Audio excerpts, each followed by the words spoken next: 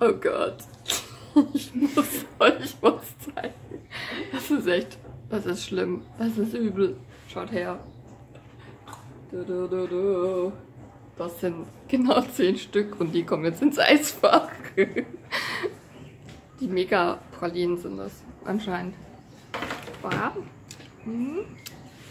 Okay. Nicht für mich. Nicht für mich.